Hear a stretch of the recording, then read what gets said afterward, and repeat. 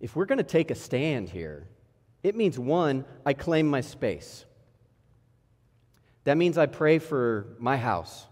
That means I pray for my family. That means I pray for my church. I pray for all of the people that I come in contact with that God has put in my life. I pray for all of them because I claim my territory. You understand? I claim my space. And so standing is about, I'm going to stand in the space. I own the space. So when it calls us to stand, that's what is really happening.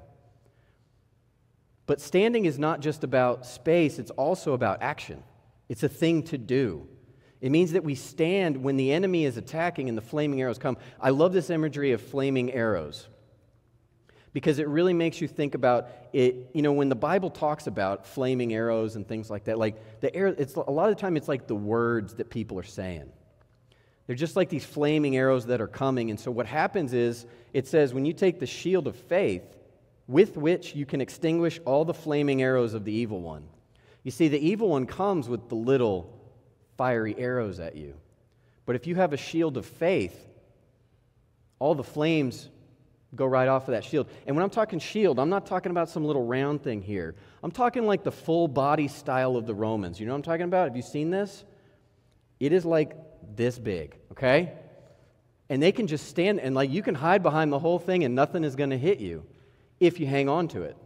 If you hold it, if you stand your ground, you claim your space, and you stand with that shield, the arrows are not going to affect you. But what happens is sometimes we get scared by the arrows.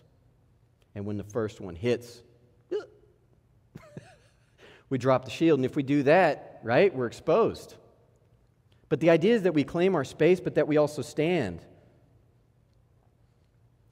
We need to take a stand in this world today.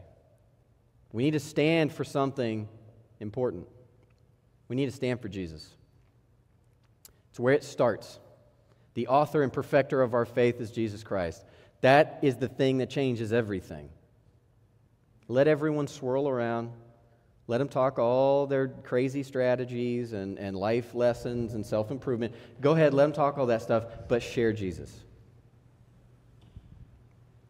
And that, dear friends, is the truth.